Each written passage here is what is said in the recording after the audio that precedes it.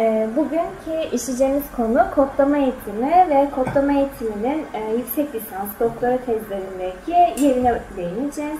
Öncelikle kodlama eğitimi denilen kavramın ne olduğuna, e, bunun dünyadaki gelişimine ve kodlama eğitiminin e, eğitim kurumlarında hangi düzeyde ilerlediğini ele alacağız. Kodlama denilen kavramın ortaya çıkmasını 21. yüzyıla girmiş, girerek görüyoruz. 20. yüzyıl içerisinde birçok becerilerin var olduğu görülmekte. Ee, baktığımızda bu becerilere analitik düşünme, e, problem çözme, öğrenmeyi öğrenme, e, öğrencilerin e, algoritmatik düşüncelerini geliştirme gibi birçok becerimiz var olmakta ve bu 21. yüzyıl becerilerinin aktarımını gerçekleştirmek için de birçok kollarımız var bizim. Bu kollardan birisi de kodlama eğitimi oluyor. E, kodlama eğitimi e, genellikle baktığımızda e, programlama, e, bir bilgisayar sistemi veya elektronik devre işlem yaptırabilmek amacıyla yazılan komut dizisi olarak açıklanıyor. Kodlama eğitimi içerisinde aslında bizim ana noktasını alacağımız konu algoritmik düşüncedir. Algoritmik düşünce nedir? Öğrencinin bu düşünce sayesinde basamaklı bir şekilde öğrenme gerçekleştirilmesini sağlıyor. İsmi nereden geliyor kodlamanın? E, kodlamanın ismi nereden geliyor? Hocam kodlamanın e, ismini bilmiyorum da o sitem eğitimi içerisine çıkmış zaten. Sitem eğitimi de kendini 53 yılında göstermiş. Onun da sebebi 2. Dünya Savaşı sırasında o uzayın gelişimiymiş. Rusya ilk baş e, uzayda ön plana çıkınca Amerika demiş ki hani bir e, Rusya gibi bir ülke bizi geçemez Bizim de bazı çalışmalar yapmamız gerekiyor. Bu yüzden de e, teknolojiye artık yönelmeliyiz demişler. E, matematik, fen ve teknoloji, e, daha sonra e, içerisine bilişim gibi kavramları alarak bir sistem denilen bir unsur ortaya çıkartmışlar. Bu unsurun ortaya çıkmasıyla birlikte de kendi içerisinde şekillene şekillene ondan kodlama denilen bir kol ortaya çıkmış. Şifreleme gibi bir şey. Evet. Hı hı. O şekilde ortaya çıkmış. E, algoritmik düşüncenin e, temel olarak benimsenmesi gereken noktanın da okul öncesi eğitim olduğu söyleniyor. Çünkü okul öncesi eğitime baktığımızda o sırada öğrencilerin e, beyin gelişimi çok hızlı. Ve çocuk da e, beyin gelişiminin hızlı olduğu dönem içerisinde e, bu düşünceyi e, hemen benimseyebileceği noktasında bazı görüşler bulunuyor. Zaten kodlama eğitiminde de işte her öğrenci ileride yazılım mühendisi olacak gibi bir düşünce yok.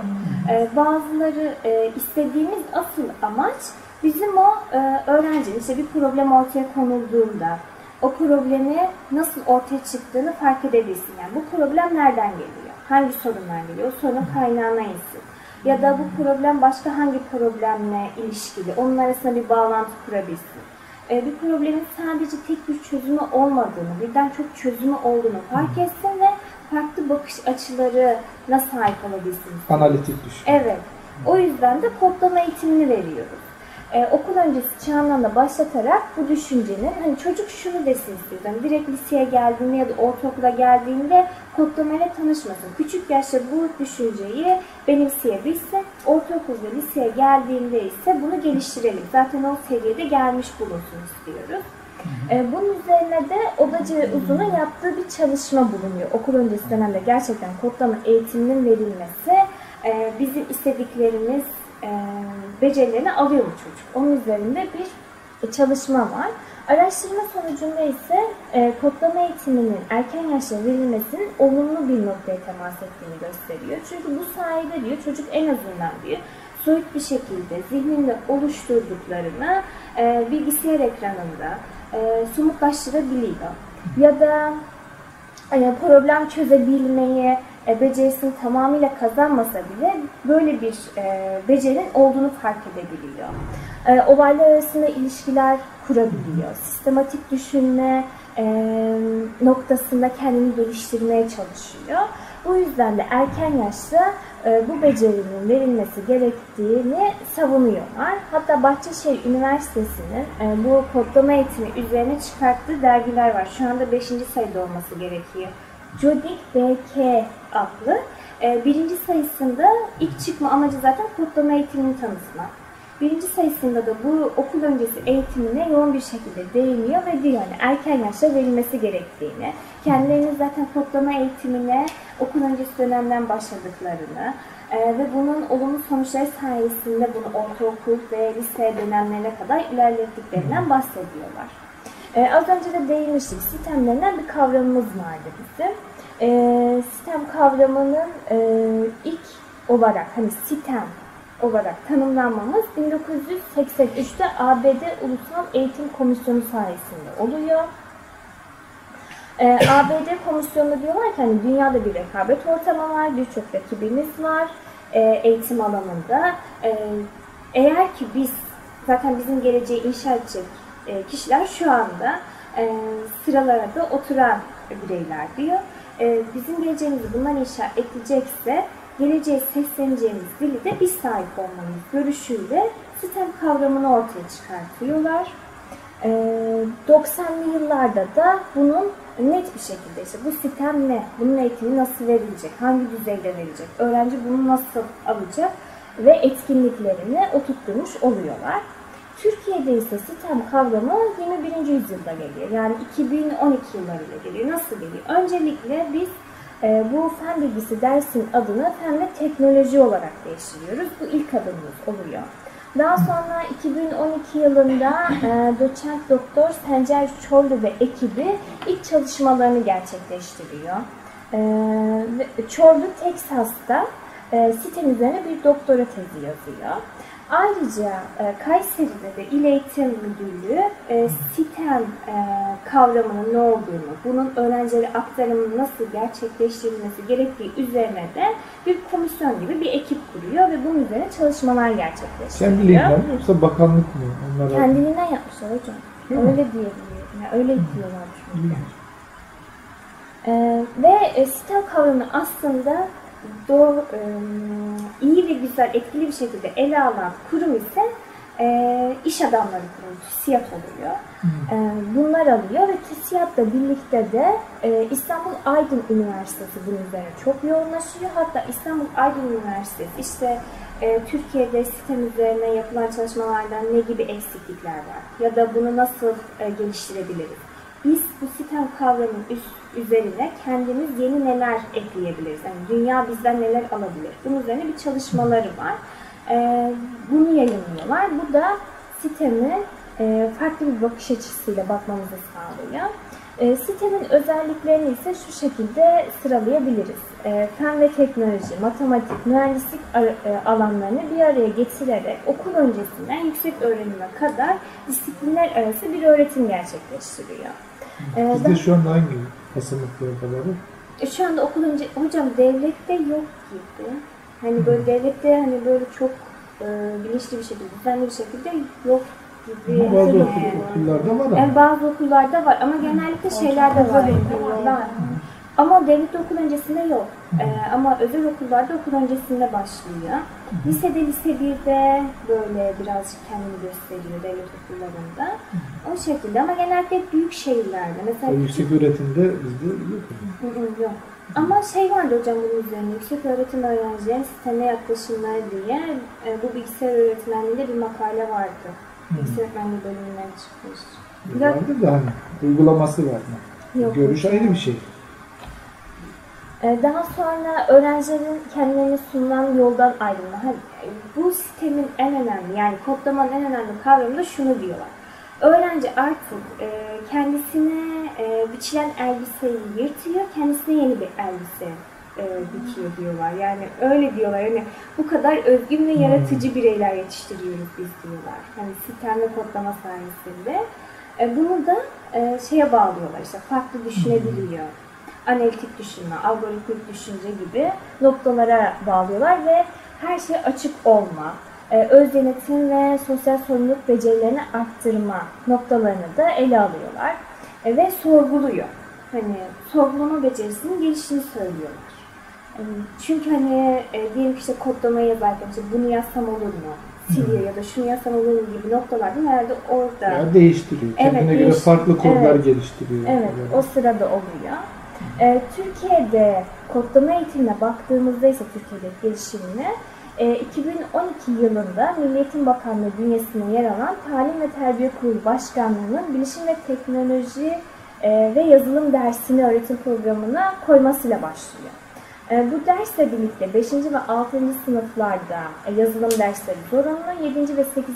sınıflarda ise seçmeli ders olarak ele alınıyor ve bu öğretim programında ana başlıklar şunlar. E, bilişim okul yazarlığı, bilişim teknolojilerini kullanarak iletişim kurma, bilgi paylaşma ve kendini ifade etme, araştırma, bilgi yapılandırma ve işbirlikli çalışma, problem çözme, programlama ve özgün ürün üretme olarak dört ana başlık altında bir yazılım dersinin nasıl işlenmesi gerektiğini söylüyorlar. E, kodlama eğitiminin e, Milli Eğitim Bakanlığı son dönemlerde yoğun bir şekilde emek harcıyor buna. Hatta e, kendisi bir e, kamu spotu bile yapıyor. Haydi Çocuklar Kodlama Öğrenmeye adlı. E, aynı zamanda sistem ve kodlama eğitimi standart vizyonu projesi başlatıyor. Fatih projesi kapsamında kodlama kampları düzenliyor ve 2018 yılında da ilk defa biz AB'nin yıllardır yaptığı kod haftasına katılıyoruz. Ve katıldığımız bu kod haftasına nasıl bir verimliliğe sahip olduğumuzu da açıklayan bir rapor hazırlıyor Milli Eğitim Bakanlığı. Bu rapora göre de e, toplam e, 7740 etkinlikle bu AB kod haftasına kat, e, katıldığımız görülüyor. İstanbul'dan 619 kişi, İzmir'den 348 kişi ve Ankara'dan 143 kişi e, bu kodlama e, haftasına katılımını gerçekleştirmiş. E, branşlar bakımından katılıma baktığımızda e, çoktan aza doğru şunu görüyoruz. Bilişim ve teknolojileri öğretmeni, sınıf öğretmenleri, okul öncesi öğretmenleri, yabancı dil öğretmenleri ve fen ve teknoloji öğretmenlerinin yoğun olarak bu kod haftasına katıldığını e, fakat diğer branşlardaki öğretmenlerin birkaç kişi geçmeyecek şekilde e, bu haftaya katılım gerçekleştirdiğini görüyoruz. Bu da şöyle bir durumu ortaya çıkartıyor. Sanki kodlama eğitimi sadece bu branşlara hitap ediyormuş gibi. Sanki sadece fen ve teknoloji, bilişim e, dersini hitap ediyormuş gibi bir görünüm bize çiziyor. Öyle ya zaten. Ama şey Sistem diyorlar dört, hocam. dört ders ama zaten. Ama kodlama eğitimi için şey diyorlar mesela. Hayır bununla değil, işte Türkçe, tarih, o dersleri de geliştiriyor diyorlar. Nasıl geliştiriyor bilmiyorum. O şey de analitik düşünme, yorumlama, sentez gibi becerileri geliştirmesinden dolayı ama doğrudan değil. Orada oyun üretiyorlar, oyunu derste oynuyorlar. O zaman Türkçe'de metin kurgulayacak, kahraman Evet. oluşturacak, olay, yer, kişi, zaman, onunla ilgili e, yönlendirmelerle Ama farklı hocam mesela müzik öğretmeni yapmış kodlama ile ilgili kendisinin. Beste mi yapmış? Bilmiyorum mi? yüksek lisans tezi var hocam burada. Yok. Bakarız.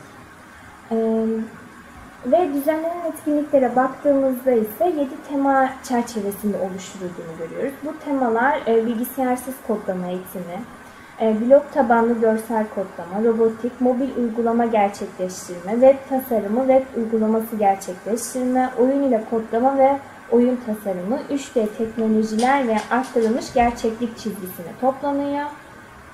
Ve e, bunlarla birlikte de etkinliklerimizi gerçekleştirip ilk defa AB kod haftasına e, adım attığımızı gösteriyoruz. E, dünya genelinde kodlama eğitimine verilen önem e, gün geçtikçe kendini e, arttırdığını göstermekte bize. E, kodlamaya dair birçok ülke e, bir- birçok emek harcıyor, zaman veriyor. Bunun dışında maddi olarak katkıda bulunuyorlar. Bunlara baktığımızda ilk sırada Estonya'nın çıktığını görüyoruz. Estonya kodlama eğitimine o kadar çok önem veriyor ki, Estonya. evet. E, birinci sınıftan itibaren müfredatta temel e, derslerden birisi oluyordu kodlama bir eğitimi. Ee, e, birinci sınıflara Microsoft'un oluşturduğu bir programı kullanarak çocuklara bunun eğitimini gösteriyorlar ve hani çocukların herhangi bir e, maddi olarak şey olmuyor, çi- kendisinden bir şey e, vermiyor. Hmm, bunu devlet ücretsiz. karşılıyor. Evet. Ve devlet bunu karşılayabilmek için de kendi hazinesinden 7000 euro çıkartıyor. Microsoft'ta. E, evet bu kodlama eğitim için 7000 euroyu çıkartıyor. Hani öğrenilsin diye. E, daha sonra ise e, İngiltere karşımıza çıkıyor. 2013 yılında İngiltere bu kodlama eğitimine çok yoğunlaşıyor. E, ve programlarında güncellemelere gidiyorlar öğretim programlarında. Bilgi ve iletişim teknolojileri dersini e, geliştiriyorlar ve bu geliştirmeyle birlikte de genişletiyorlar. E, bu e, geliştirme sonucunda da kodlama eğitimini basamaklandırıyorlar. İşte 5-6 yaşta e, bu şekilde eğitimi, öğretimi gerçekleştireceksiniz. 7-11 yaş arasında öğrencilere bu etkinlikleri sunacaksınız veya 11-14 yaş arasında seviyelerin o bu zamana kadar gelmiş olan o kodlama eğitiminin düzeyini e, şu şekilde arttıracaksınız diyor ve bir programı öğretmenlere sunuyor. 5-6 e, yaş içerisine baktığımızda ise ilk olarak temeli oluşturuyor. Diyor ki yani burada çocuklara e, biz işte yeni bir kod, kod üretsin, yazılım geliştirsin istemiyoruz. Şunu yapsın, algoritmanın ne olduğunu öğrensin, e, bu bilgisayarın teknolojinin nasıl yapıldığını, onu keşfedebilsin.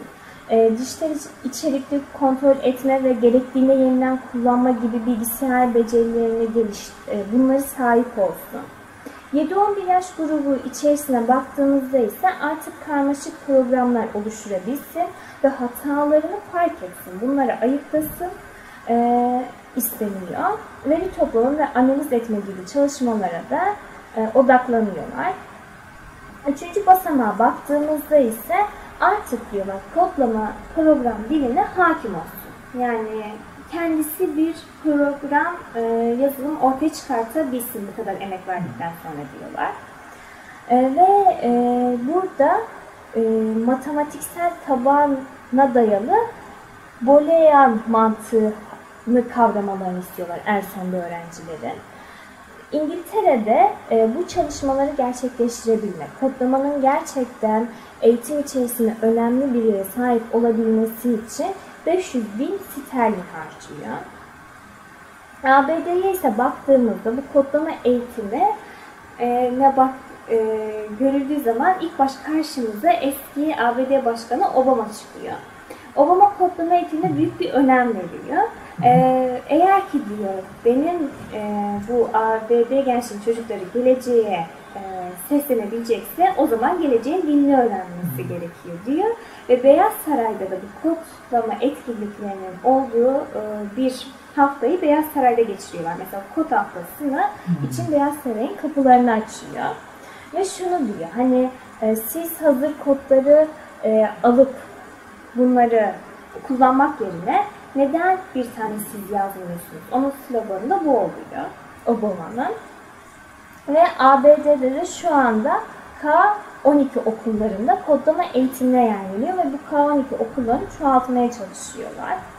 Ee, Kaliforniya'da da e, bir okul, e, Los Altos okul bölgesinde de her hafta çeşitli kodlama eğitimlerinin verildiği görülüyor. Ee, aynı zamanda ABD içerisinde öğrencilerin kodlama eğitimine meraklarını daha çok arttırabilmek ve bu kodlamanın e, gerçekten e, geleceğe seslendiğini e, vatandaşlara e, keşfettirebilmek için de kodlama olimpiyatlarını gerçekleştiriyorlar. E, kodlamayı bu şekilde açıkladıktan sonra bu kodlamayı nasıl öğrenebiliriz? Yani hangi programlar bize bu kodlamaya dair bilgiler verebilir ve kodlama becerimizi geliştirebilir? Bunlardan en meşhuru jode.org. Ve bunların e, sloganı şu, herkes öğrenebilir diyorlar.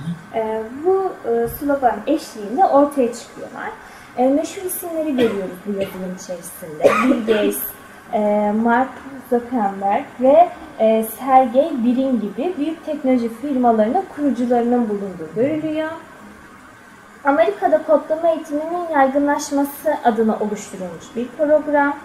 E, program içerisinde e, her seviyeye yönelik bir kodlama etkinliği var. Hani 4 yaşından başlıyor, ben öyle hatırlıyorum. 4 yaşından yüksek öğren hani ileri seviyeye kadar, 16 e, yaşına kadar e, bir e, öğrencilere yönelik etkinlikler var olduğunu görüyoruz. Star Wars, Minecraft gibi oyunlarla da Minecraft. Minecraft gibi oyunlarla da çocukların ilgilerini çekmek amaçlanıyor. Ee, uygulama e, nesne tabanlı programlamayı temel alıyor. Ee, sürekli e, sürükle bırak şeklinde. Hani öğrenci diyor. e, Aslında bir kod öğrenmiyor. evet. Bunu söylüyor. Herkes de bu yönüne eleştiriyor. Yani aslında burada evet. Puzzle gibi al oradan oraya, Evet. oradan taşı bırak, taşı Bunu bırak. eleştiriyorlar. Onlar da şöyle diyor hani biz zaten herkesin yazılım mühendisi olmasını istemiyoruz. O düşünceyi alsın bize yeter. Hani şeklinde savunuyorlar Ama kendilerini. öbüründe öyle değil. Ha, Yani Kod kod, riski. liste Hmm. tercihli. İstersen sürükle bırak, istersen kodunu kendin yaz. Ee, burada e, ta- daha sonraki programımız ise Tyker oluyor. Bu Apple ekibi tarafından gerçekleştirilmiş ve bulmaca tabanlı bir görsel programlama aracı. Ee, bunların temel amacı şu. Diyor ki bizim programımızı ele alan çocuk herhangi bir öğretmenine ihtiyaç duymadan kodlamayı kendi kendine öğrenebilecek. Bu amaçla ortaya çıkmışlar. Ücretli bir program. İlk iki dersi ücretsiz veriyor ama diğer dersler ücretli bir şekilde devam ediyor. 115 seviyeden oluşuyor. E, 8-16 yaş aralığında çocuklar için tasarlanıyor. E, Çocuklara oyunlar eşliğinde kodlamayı sevdirmeyi amaçlıyorlar. E, Ve e, şu adımlarla içerisinde e, temel kod, döngüler, koşullu ifadeler gibi adımları öğreten bir program. E, Bunlar diyor ki biz diyor kodlama faaliyeti gerçekleştirmek için değil, kodlamayı öğretmek için ortaya çıktık. Bu şekilde söylüyorlar ve uygulama içerisinde de iki kurs var oluyor. Bunlar da çocuklara yönelik olanlar uzay yetiştirme kursu ve 8 yaş ve üstü çocuklar için hazırlanmış olan e, Dragon Spil oluyor. E, bunun kötü bir yanı şu, Jode Orkun Türkçe dil desteği varken Tyker'ın dil desteği bulunmuyor hiçbir şekilde. Diğer bir programımıza baktığımızda ise Codris'i görüyoruz. Tyker gibi 8-16 yaş aralığında e, öğrencileri alıyor. E, Python e, dilini temel alarak online bir platformdan kodlama eğitimini veriyor. E, bu e, programın özelliği şu, öğretmen ve öğrenci şeklinde iki tane kullanıcı var. E, öğretmene çok yarar sağlayan bir program. Yani öğretmenin e, bu e, ders içerisinde faaliyetleri nasıl yürütmesi gerektiğini dakika dakika gösteren bir öğretim programına sahip bu Codis programı. E, ve öğretmeni basitten karmaşa doğru öğrencilere hangi e, seviyede kodlama etkinliğini sunması gerektiğini ya da öğrencilerin şu anda hangi seviyede olduğunu tespit edebilmesi için de e, birçok alıştırmalar sunan bir program. Öğretmen sınıf oluşturabiliyor mu? Evet oluşturabiliyor. Yani kendi sınıfını Evet. oluşturuyor. Evet. Öğrenciler oradan online takip edebiliyor kimin hangi Evet. düzeyde olduğunu. Evet. Ee, bu e, 300 sayfalık zaten öğretmen rehberi bulunuyor. Her seviyeye göre. Ee, kodlamanın temeli olan değişkenler, döngüler, if yapıları, diziler gibi konulardan oluşan 250 seviyeyi görüyoruz burada da. Bu seviyeler de öğrencilere oyunlaştırılarak veriliyor ki öğrencilerin dikkatini çeksin. merak Bilip baktın mı uyandırsın. Baktım. Hatta böyle bir Uyguladın mı? uygulamaya çalıştım birazcık bir şeyler. Şey vardı, e, kendin seçiyorsun zaten. Böyle seviyeni kendin belirleyebiliyorsun. E, tıklıyorsun. O öğretim programına da bakmıştım. Gerçekten böyle söylüyor ne yapması gerektiğini. Çok açıklayıcı bir program. Ama yani. sıkıntı değil mi? Her şeyi söylüyorsa o ne üretecek? Yani ama şurada niye? Mesela bizim bir üniversitede bu eğitime yönelik öğretmen yetiştirmiyoruz. Hmm. Yani öğretmenin nasıl yol izleyeceğini gösteriyor mesela. Anladım. Yani oradan iyi gibi. Ama diğer yönden kötülüğü de var. Öğretmen kendisini geliştiremez. Hazır. Evet hazıra alışır. Mesela o program birdenbire gitse ne yapacağını bilemez. Ee, ve kodlama programında bu kod ise şöyle bir temel var. Ee, ne kadar e, kısa yolda kodu yazarsan 3 yıldızı alırsın. Uzun yolda yazarsan 3 yıldız değil 1 ya da 2 yıldız alırsın. Ee, burada da şunu görüyoruz. Yani öğrencilere pratikliği kazandırma. Hani günümüzün istediği de bu. Problemleri hemen çözebilsin, hemen problemi algılasın, bunun çözümü üzerine e, o dakikada çözümlerini ortaya koysun. Bu şekilde oluyor. Burada da blok sistemi var. Aynı şekilde. Ama ilerleyince gidiyordur herhalde bu blok sistemi. Burada şey var, yazdığın kodu görebiliyorsun. Görme imkanın var. Hani taraftaki- göremiyorsun. Evet, yan tarafta göremiyorsun. Eş zamanlı ilerliyor. Hatta üzerinde değişiklik yapabiliyorsun. Evet. Yani komple hepsini değiştirmene gerek yok. 2019-2020 yılında devlet tarafından geliştirilen Kodla Büyü projesinde de Kodis programı kullanılıyor. Hmm. Hatta internette sayfası da var Kodla Büyü'nün. Onu denedin mi? Ee, onu onu girer, onu tam yapamadım hocam. Sayfaya girdim ama nereye gireceğim, ne yapacağım onu anlayamadım o Kodla Büyü'de. Orada yok muydu yönlendirme? Hocam herhalde orada şey olacaksın. Ee, devlet şifre mi veriyor öğretmenlere? Ne? Bakalım. Kodla bir. Hı hı. Hı hı. Devam et sen oraya. E, Diğer bir programımızda Meblog. Bu Çin menşeli bir e, şirket tarafından oluşturulmuş. E, Arduino, Stretch ve robotik kodlama esaslarını temel alarak Evet, oluşturulan Stretch bu aralar e, yine yaygın programlardan birisi. Hı hı. bir eğitim materyalidir. Ama hocam bu Stretch'i çok eleştiriyorlar. Yani Stretch'te çocuk animasyon da yapabiliyor. Hmm. Yani oradaki karakteri hareket ettirebiliyor, her şeyi yapabiliyor. Neyini eleştiriyorlar? Onu da işte kodlama eğitimi vermediğini söylüyorlar. Yani kodlama denilen şey böyle değil. Aynen. Yönde. Hmm, e, Şirket programı ilk ürettiği zamanlar ücretsiz bir şekilde üretmiş ve birçok okula da e, bu programı kullanması için göndermiş. Fakat daha sonra 100 dolar çevresinde bir fiyat belirlemiş erişim elde edebilmek için. E, bu da blokları sürükle bırak mantığına sahip. E, programın Windows, iOS uyumlu sürümleri mevcut. Bunun güzel özelliği de Türkçe dil desteğinin bulunması. Ve e, bu programı yüklüyorsun bilgisayarına, internet bağlantın olmadığı zaman da kullanabiliyorsun. Yani offline çalışabiliyor. Evet, o şekilde çalışıyor. Yönteme bunu devam edeyim mi? Yok şeye geçebilirsin şimdi tespit ettiğin çalışmaları kaç tane, ne var, nerede çalışılmış, Tamam. daha çok nerede ağırlık verilmiş. Ee, De, baktığımızda ise devam ettiğimizde kodlamanın yüksek öğretim kurumlarındaki yerine baktık. Bunun üzerine yazılan yüksek lisans ve doktora tezlerini ele aldık. Ee, YÖK Tez Merkezi'nden aramamızı gerçekleştirdik. Ee, ve e, YÖK Tez Merkezi'ne bu konu üzerine e, doktora ve yüksek lisans tezi gerçekleştirmiş herkesin o tezini oraya yüklediğini varsayarak e, çalışmamızı yürüttük. E, analiz yöntemini ele aldık e, analizimizde. E, bu şekilde de şu bulguları elde ettik. E, doktora yönünde hiçbir tezin bulunmazken yüksek lisans yönünde 23 tane tezin mevcut olduğunu gördük. Ve bu 23 tane tez içerisinde de genellikle e, bilgisayar ve öğretim teknolojileri ana bilim dalının yoğunlaştığını e, Farklı alanlarda var mı? var hocam. Onları da asıl onları görelim. Tamam. Yabancı diller eğitimi ana bilim dalı, Hı hı. E, eğitim bilimleri ana bilim dalı, e, ilk öğretim ana bilim dalı, eğitim teknolojileri bilim dalı, güzel sanatlar eğitimi ana bilim dalı, Mesela güzel sanatlarda neymiş başlığı çalışmanın? ilkokul müzik derslerinde robotik ve kodlama programlarının kullanılmasına yönelik örnek bir çalışma. Hmm. E, Ve şey hocam, e, mekatronik ana bilim dalında hani eğitimle ilgili değil ama eğitime yönelik bir tez yapmış. 6-12 yaş gruplarında robotik, ha, onunla ilgili herhalde o yüzden. Ama öğretim noktasını ele almış. Robotik araç ve gereçleri kullanarak kodlama öğretimin uygulanması ve analizi